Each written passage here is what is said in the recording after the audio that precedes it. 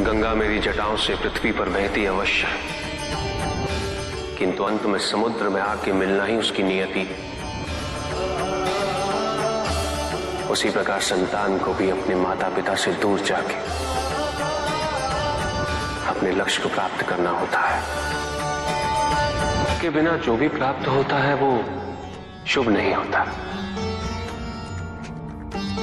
वो सत्य नहीं होता।